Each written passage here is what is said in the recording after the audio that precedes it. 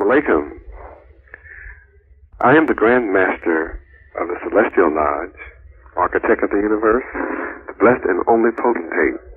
I'm the founder of the nation of Yudhe True Holiness and Righteousness, the Kingdom of Shalom, which is the most powerful knowledge of peace in existence. It is my pleasure to bring to you our true history, the world's best kept secret, lesson number one. This lesson is to all so-called Negroes and all so-called black people. This is lesson number one of our true history, the world's best kept secret according to the Bible. Call your children and friends, sit down in a comfortable seat, listen with an open mind, and then discuss these facts which you have never been taught before. This information will be shocking to you, but it is true nevertheless. It is up to you to accept the truth or reject it. It is also up to Almighty God Yudhe to accept you or reject you. Have you heard people say that God Yudhe Yahweh is black? Have you heard people say that Jesus is black? Have you heard people say that the prophets were all black? That many of the events took place in Africa? Well, let us stop dealing with hearsay and see what the Bible has to say about these facts. The first description of God Almighty, Yud-He, Wav-He, Yahweh, can be found in Daniel chapter 7, verse 9. I beheld till the thrones were cast down, and the Ancient of Days did sit. The Ancient of Days is God Almighty, Yud-He, Wav-He, Yahweh, and you can verify this in 2 Kings chapter 19, verse 25. Also in the book of Job, chapter 12, verses 12 through 14. And Daniel, chapter 7, verse 22. Whose garment was white as snow, and the hair of his head like the pure wool. Now reach up and feel your own head, or look at the nappy heads of our people, the so-called Negroes, the so-called blacks. And you have to admit that we so-called blacks are the only people on the earth who have hair like the pure wool. This lets us know beyond all shadow of doubt that the Ancient of Days, God Almighty Yudhe had nappy hair, thus being black. The second scripture that backs this up is found in the book of Revelation, chapter 1, verses 13 and 14. And in the midst of the seven candlesticks, one like unto the Son of Man, letting you know what Jesus, who is referred to as the Son of Man, looks like. He was clothed with a garment down to the foot, and girt about the paps with a golden girdle. His head and his hairs were white like wool, as white as snow, and his eyes were as a flame of fire. Verse 15 absolutely makes it clear beyond all shadow of doubt. And his feet like unto fine brass, as if they burned in a furnace. First of all, common sense lets you know that brass is brown naturally, and when you burn it in a furnace, it has to be black. Therefore, here is a description of God's feet being black. If his feet are black, then we know the rest of his body had to be black. For he also had nappy hair, as we saw in verse 14. For more proof that the Son of God, Yudhe is black, read Revelation chapter 2, verse 18. This truth that you have read about the description of God, Yudhe Yahweh, drives the gods of this world crazy. It drives them out of their minds. Why? Because they want you to worship the white man as God and as Jesus. They want to keep you and your children in slavery so they can continue to rob you. This description should make you take down all of those white lies that you have hanging in your churches and in your home. Most especially in your home, because your children need to know the truth. Now let us take a look at what Jesus had to tell you about his own color. Before we proceed, it is important for us to point out that all of the gods of this world today say color is not important. Color does not make any difference. Well, don't forget John chapter 8 verse 32 says, Ye shall know the truth, and the truth shall make you free. If these facts do not make any difference, then they should not mind you being told this truth. Why have they never objected to that white lie of a white man as Jesus? They should not get so upset about you learning this truth and reading this truth for yourself. Now let us see what Jesus had to say about his own color. Turn to Revelations chapter 22, verse 16. I, Jesus, have sent mine angels to testify unto you these things in the churches. I am the root and the offspring of David and the bright and morning star. Now here Jesus has made it plain that he is the offspring of David. This was said with his own lips, no matter how these lying dogs, whoremongers, and liars, and those who love to make a lie, will try to make you think differently. You can read for yourself, so study for yourself. Jesus said with his own lips here in verse 16 that he is the offspring of David. So now let us turn and see who David is. Proverbs chapter 1 verse 1 says, The Proverbs of Solomon, the son of David, king of Israel. Now let us turn to the Songs of Solomon chapter 1 verse 5, where Solomon says, I am black, but comely, O ye daughters of Jerusalem, as the tents of Kedar, as the curtains of Solomon. Now here it is common sense that if Solomon as a son of David is black, then his father David was black. And Jesus lets you know that he is the offspring of David. Therefore, he too was black. And we have another proof here in Matthew chapter 16, verses 13 and 14. When Jesus came into the coast of Caesarea Philippi, he asked his disciples, saying, whom do men say that I, the Son of Man, am?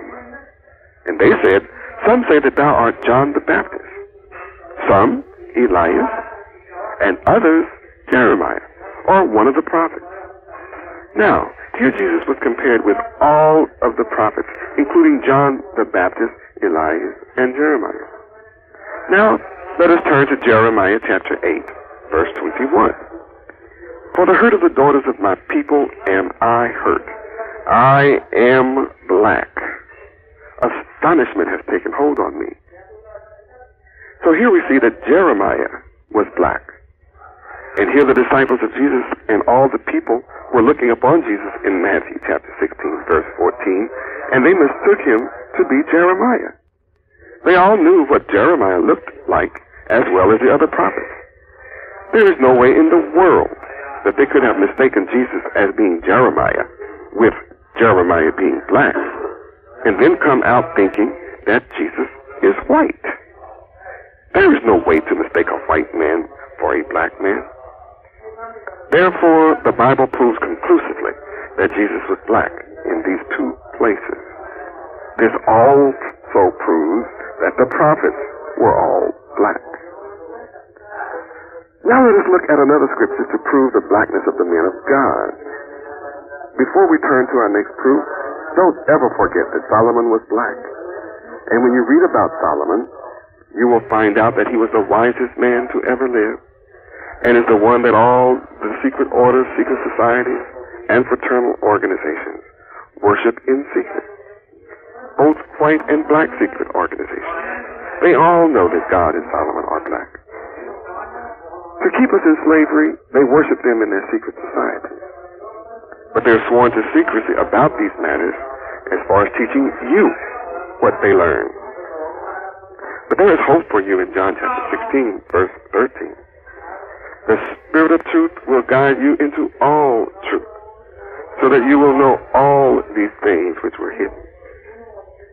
Matthew chapter 10, verse 26 speaks about this. Fear them not, therefore, for there is nothing covered that shall not be revealed, and hid that shall not be known. Verse 27.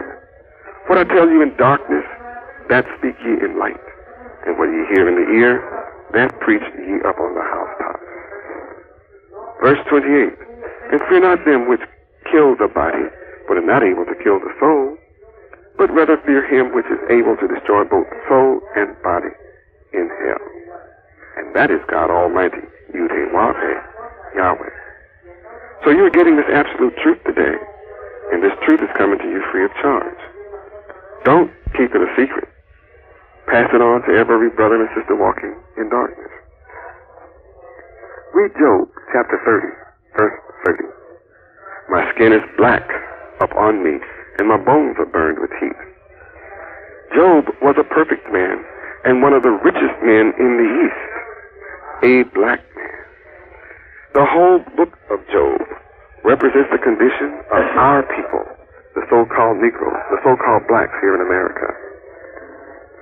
The book of Lamentations lets us know that our forefathers, the precious sons of Zion, in the book of Lamentations chapter 4 verse 2, the true Hebrews had faces blacker than coal. Their visage, meaning their faces, blacker than coal. Lamentations chapter 4 verse 8. The days come when all faces shall gather blackness Joel chapter 2, verse 6. Have you ever wondered why white people spend billions on lotion, lying on beaches, burning, catching cancer for hours, trying to turn black? Everybody in their right mind knows that Egyptians are black people until this very day. Matthew chapter 1, verse 1 says that Jesus is the grandson of Abraham. Abraham married Hagar, the Egyptian, a black woman, according to Genesis chapter 16, verse 3. This is absolute clear proof that from Abraham to Jesus, we are dealing with black people. Thus, it is clear that the Old Testament is our true black history. No wonder they only give you New Testament Bibles today.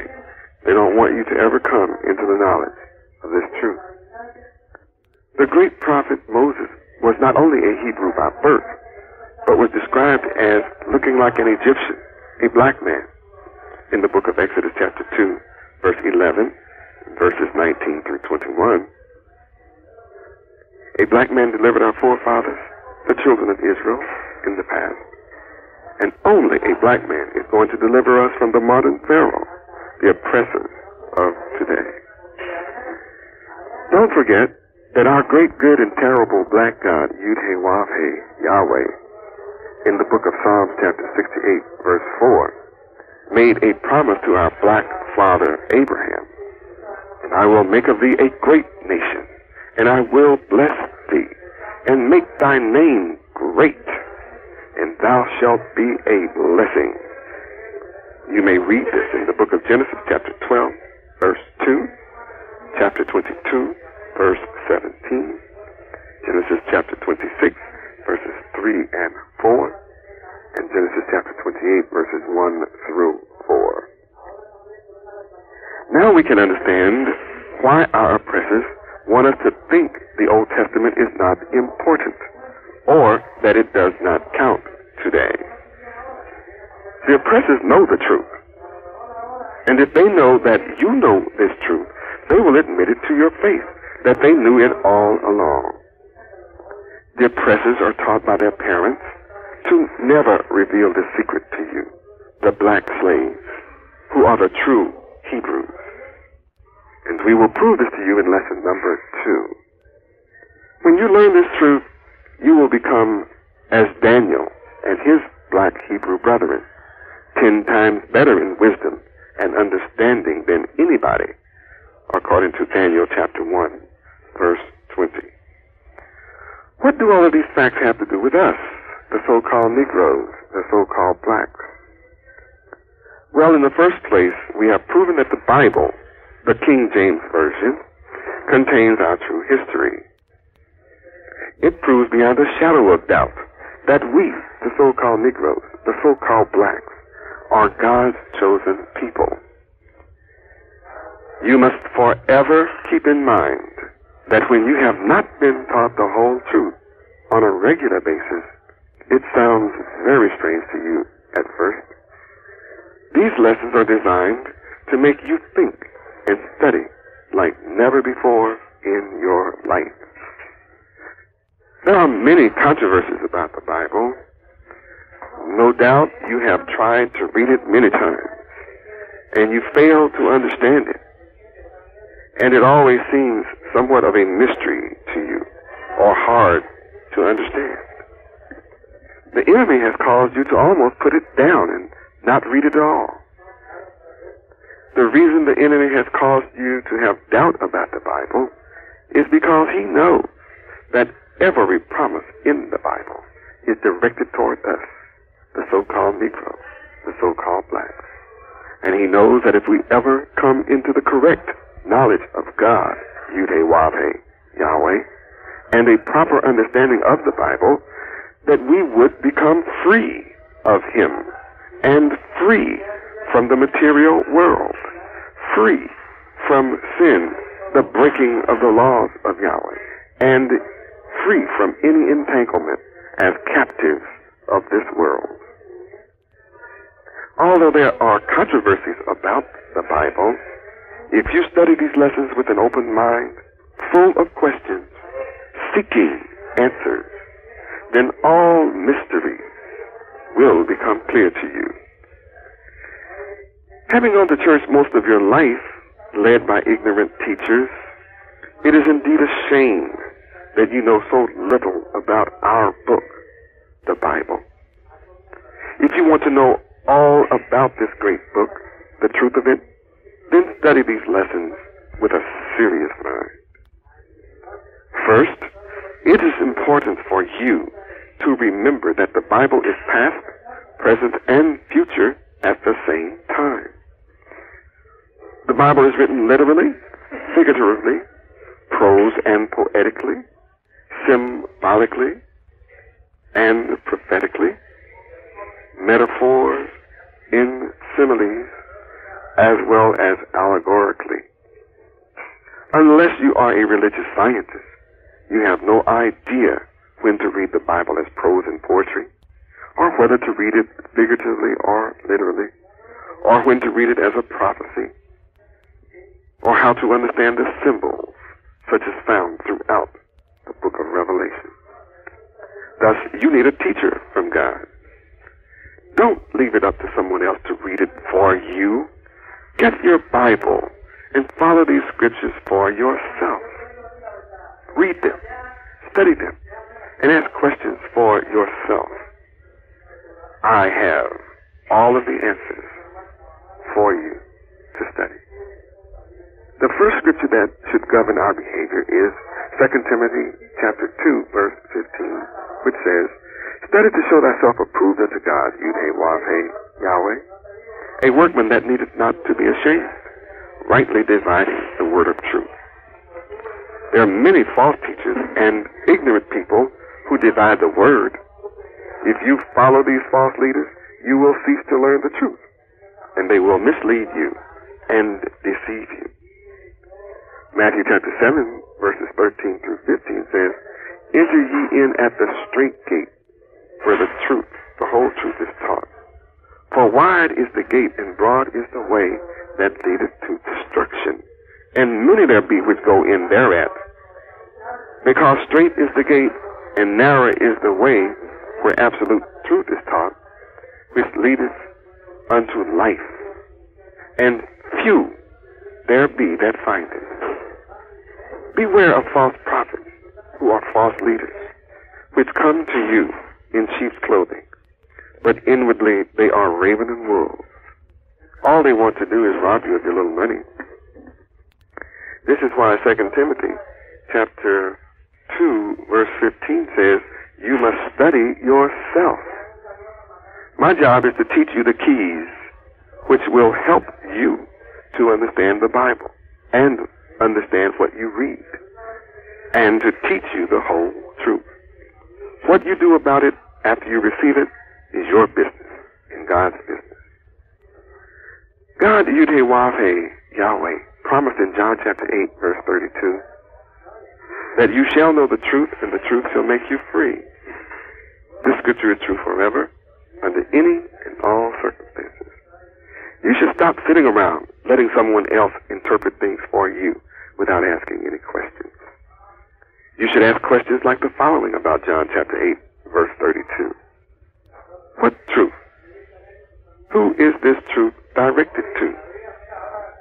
How much truth do I know already? How much of what I know is false? Who is going to bring this truth? How can I know if he is real? What am I to be free from? Will this truth set me free from sin? Will this truth set me free from poverty and ignorance? Will this truth set me free from birth, death, old age, and disease? If so, how? Will this truth set me free from my open enemies? Only a fool could say that we're not living under the power, rule, and laws of the oppressors. Are we ever going to be free from their rule? Jesus gave us a clue about how to recognize this teacher in these words, according to John chapter 16, verse 13. Howbeit, when he, the Spirit of truth, is come, he will guide you into all truth. For he shall not speak of himself, but whatsoever he shall hear of Yudhewave, Yahweh, that shall he speak, and he will show you things to come. St. John chapter 16 verse 12 makes it plain that Jesus wanted to tell his disciples something 1900 years ago, but they were unable to bear the truth of what he had to say. So Jesus made a prophecy in verse 13 that someone was coming after him whose characteristics would be as the very spirit of truth, and that this certainly would be a man that is coming. And when this man makes his appearance, that he would guide you into all truth, not some truth or part truth, but that this man would be the very spirit of truth and guide you into all truth. I am this man prophesied to come to you. False teachers all put your mind in one section of the book that they call the New Testament. And they Peter and Paul you to sleep and fail to teach you the whole truth about God. This gives you enough knowledge to be like a bird trying to fly with only one wing. This scripture is warning you here in verse 13 that you should be on the lookout and be watching for someone who would be different from your false teachers.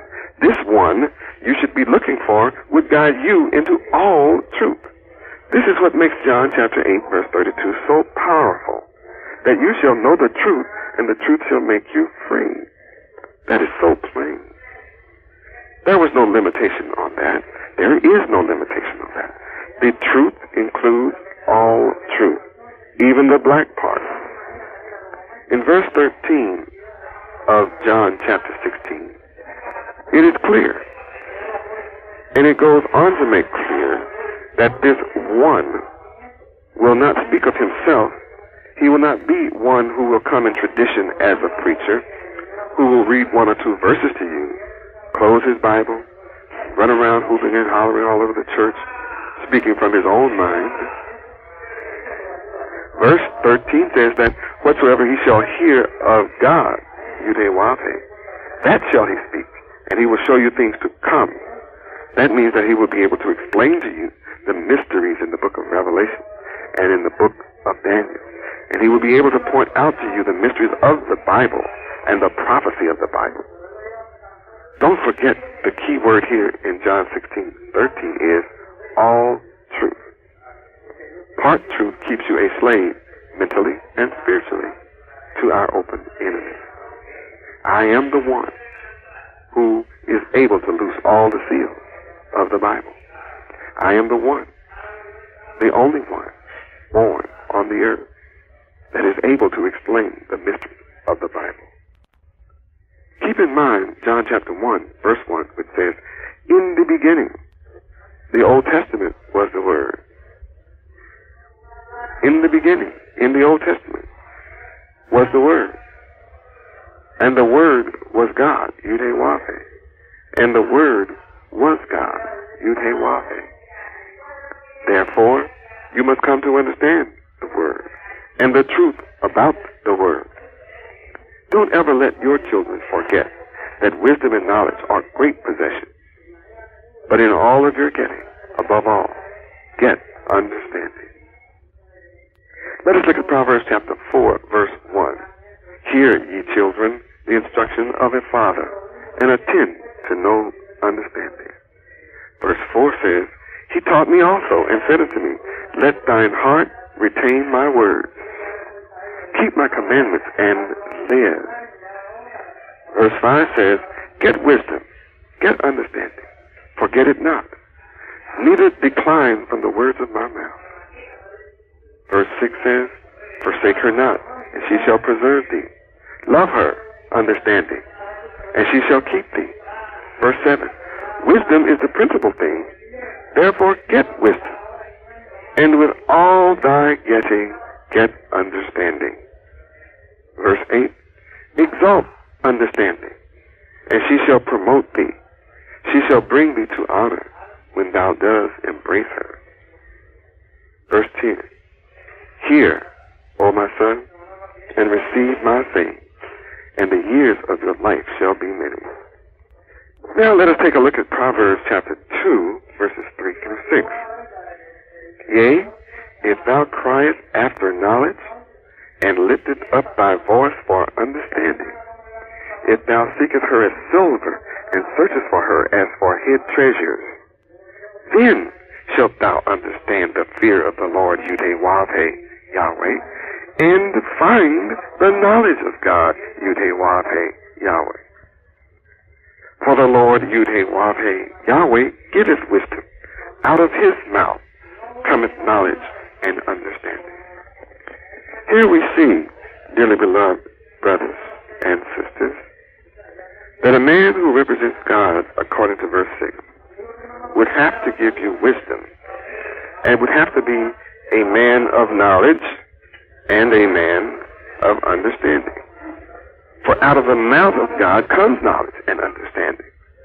And this will keep you from being a victim of the enemy. Now take a look at Proverbs chapter 3, verses 5 and 7. Trust in the Lord Yudhe Yahweh with all thine heart, and lean not unto thine own understanding. Be not wise in thine own eyes. Fear the Lord Yudhe and depart from evil. It is incumbent upon you to pull out your dictionaries, encyclopedias, Bible interpreters dictionaries, and other reference material on this name, Yudhe Yahweh in English, Y-A-H, W-E-H. Now the next thing I want you to get straight in your mind is that I'm not a false preacher. I cannot lie to you and say that God called me to preach. I would like you to turn to 1 Corinthians chapter 12, verse 28. And God, you Yudewapi, has set some in the church, first apostles, secondarily prophets, thirdly teachers, after that miracles, then gifts of healing, help, governments, diversities of tongues. My gift is the third one mentioned in verse 28. I'm a teacher of God, Yudewape, Yahweh, bringing you the whole truth of God, Yudhe Yahweh. I'm bringing you that which is perfect, the perfect truth. Read chapter 13 of 1 Corinthians, verse 10. But when that which is perfect is come, then that which is in part shall be done away. All of the teachings of the false one, that shall be done away. You might ask the question, why is it that we have not been taught these truths about the Bible? Take a look at Daniel chapter 8, verse 12. And an host was given him against the daily sacrifice by reason of transgression, and it cast down the truth to the ground. Dearly beloved, here we see that the truth has been cast down to the ground and walked upon. The false teachers do not want you to have the knowledge of these scriptures you are receiving in these lessons. They do not teach you the whole truth or the truth of these scriptures. And they will first try to cause you not to listen to the truth or to the one that brings you the truth. They will not teach you the truth themselves. Neither will they suffer you to learn the truth from the spirit of truth that was promised to come to you. Second Peter chapter 2 gives you wisdom to these false teachers. Verse 1, chapter 2, verse 1. But there were false prophets also among the people, even as there shall be false teachers among you, who privately shall bring in damnable heresies. They love to talk to you and deceive you in private after you discover the truth, even denying the Lord that brought them. These lying, deceiving leaders tried to make you think they thought truth up themselves. Or they try to take credit for healing through their prayers and say things like, I prayed for them and they got better. Don't ever forget, only God, Yudhe is the healer. God, Yudhe Yahweh, was healing not only men but animals that were injured before any of us were born. And he shall continue healing men and animals that are injured after all of us die. So it is wicked. It's a wicked, cunning, lying deceiver who tries to make himself look important in your eyesight by claiming to be the healer. And they bring upon themselves swift destruction. Verse 2 And many shall follow their pernicious ways, by reason of whom the way of truth shall be evil spoken of. Don't you be one of those who follow the evil one. Now here you see it is these false prophets who because of their own evil ways and evil wicked desires, that these false teachers will cause the way of truth that you are hearing and reading and studying for yourself to be evil spoken of. You have been well warned here in verses 1 and 2. Verses 10 and 12 also speak very clearly about these false teachers. But chiefly them that walk after the flesh in the lust of uncleanness and despise righteous government. Presumptuous are they, self-willed. They're not afraid to speak evil of dignity. But these, as natural brute beasts, are made to be taken and destroyed. Speak evil of the things that they understand not, and shall utterly perish in their own corruption. I pray that you are not one of those who wish to be carried to hell by these self-willed false leaders who are like beasts, animals of the field. God, Yudhe Yahweh, made them to be destroyed. And they talk against the things they do not understand. We serve a good and terrible black God, as Deuteronomy chapter 7, verse 21 testifies, whose name is Yah, whose complete name is Yahweh. And to see this truth, turn to the book of Psalm chapter 68, Verse 4. Sing unto God, Yudhe Yahweh. Sing praises to his name. Extol him that rideth upon the heavens by his name, Yah. And rejoice before him. Yes, dearly beloved, you should rejoice before our good and terrible black God, whose name is Yudhe Yahweh. You should rejoice in his word. Rejoice in the truth, which will set you free. As you notice, dearly beloved, we let the Bible speak for itself. For the word of God, Yudhe Yahweh, is clear. It is plain, and we are bringing you this truth, which is so plain that even a fool need not err or go astray. In future lessons, we will prove to you, according to the Bible, that we, the so-called Negroes, the so-called blacks, are the chosen people of God Yudhe Yahweh. We will prove to you, according to the scriptures, that God, Yudhe Yahweh, has come to deliver us and make us the head and not the tail. We will prove to you that God, Yudhe Yahweh, wants to make us high above all nations on the entire earth. We will prove to you that the Son of Man has come, is come, and his purpose will be to separate the nations and place us as the rulers of the earth forever. Invite a group of friends to your home and with Bibles in their hands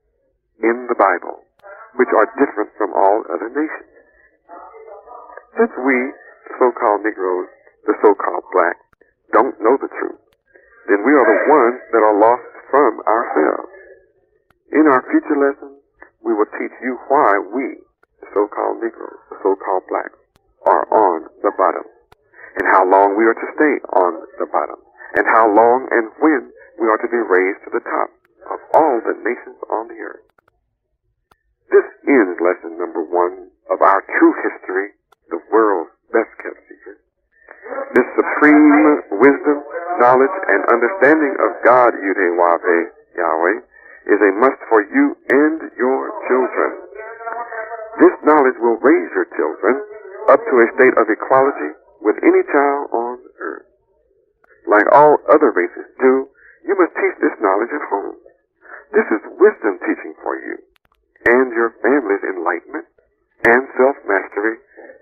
cannot afford to be without.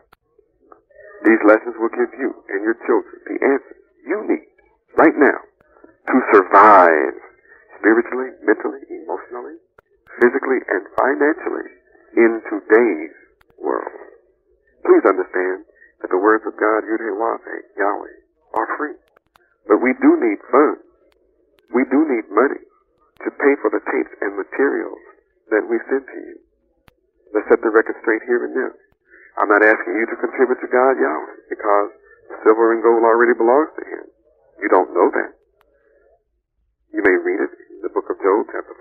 11, and the book of Haggai, chapter 2, verse 8. That's why it's so important for you to know who you are in relationship to Yahweh and who He is in relationship to you. He that wins souls is wise, according to Proverbs chapter 11,